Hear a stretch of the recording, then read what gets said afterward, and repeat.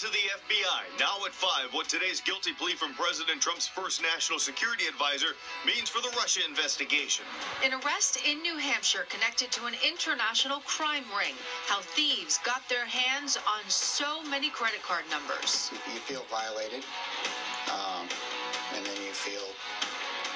paranoid. What should I do to protect myself? And weather a nice, quiet, and cool first weekend of December on the way, when the pattern could change.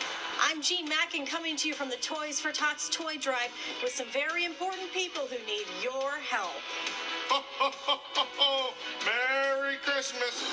No one covers New Hampshire like we do. Now, WMUR News 9 at 5. Early favorite of President Trump has now admitted to lying to the FBI during an investigation into Russian influence on the U.S. election. Good evening. I'm Mike Cherry. And I'm Jennifer Vaughn. Former security advisor Michael Flynn pleaded guilty today to willfully and knowingly making false statements about meetings with the Russian ambassador.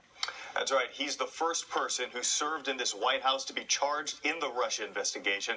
And just this hour, we are learning more about who else in the administration may have known the truth.